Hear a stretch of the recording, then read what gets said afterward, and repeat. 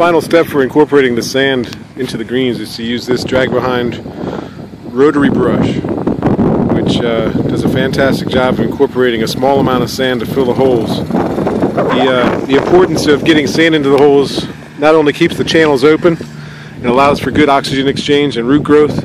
Um, if we put too little sand, the holes don't fill up and the holes will not close up quickly.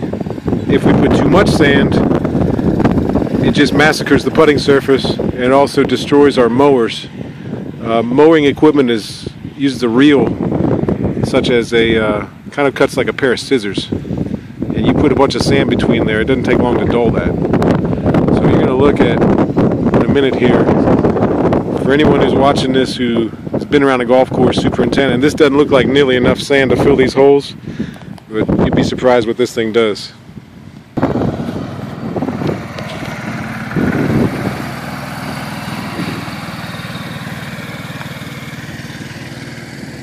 You see in just one pass, doesn't look like enough sand, fills these holes pretty good.